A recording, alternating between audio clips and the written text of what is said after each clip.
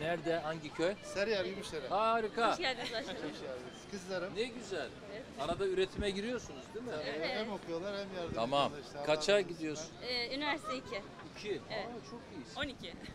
Harika. Başarılar. Bölüm Biyoloji okuyorum. 10 numara. Başarılar diliyorum. Ben hem tarlada çalıştım hem pazarda sattım. Bak hem tarlada çalıştım. Annem çok iyi bir üreticiydi. Hem de bizim kadınlar pazarı vardı Trabzon'da. Orada da satıcılık da yaptım. Sırtımda da taşıdım. Üretileni satmak keyiflidir. Üretmek çok keyiflidir. Babanızın eline yüreğine sağlık. İki kız yetiştiriyor. O da çok güzel. Başarılar. Hepsi de çok güzel bu arada.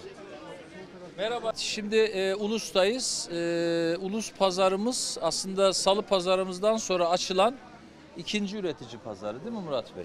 İkinci üretici pazarı. E, salı pazarımızı e, pazar günleri hizmete açıyoruz Kadıköy'de.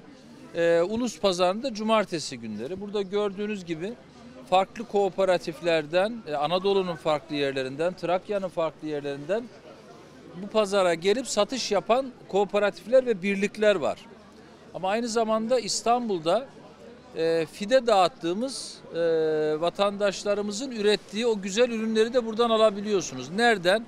Silivri'den, Çatalca'dan, Sarıyer'den, hatta e, Pendik'ten, e, Beykoz'dan, e, efendime söyleyeyim Şile'den gibi. Bu daha da büyüyecek, artacak. İstiyoruz ki vatandaşımız sağlıklı gıdaya direkt üreticiden ulaşabilsin. Bir başka boyutu burada yoğun bir biçimde kadın üreticiyi de görüyoruz. Bu da e, kırsalın gelişimine, o e, köylünün o güzel emeğinin karşılık bulmasına da fırsat veriyor. Bu fırsatı büyütmek istiyoruz. Şimdilik Beşiktaş'tayız, Ulus'tayız. E, dediğim gibi Salı Pazarı uzun süredir hizmet veriyor zaten. Beşiktaş ilk defa sürecine başladı, büyüyecek. Farklı noktalarda da arayışlarımız var. Arkadaşlarım çalışıyorlar. Umarım vatandaşımızı bu tarz güzelliklerle buluşturmaya devam edeceğiz.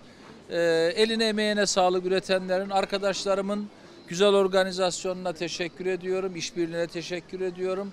Ee, bu pazarların artmasını diliyorum. Köylerde üretimin artmasını diliyorum.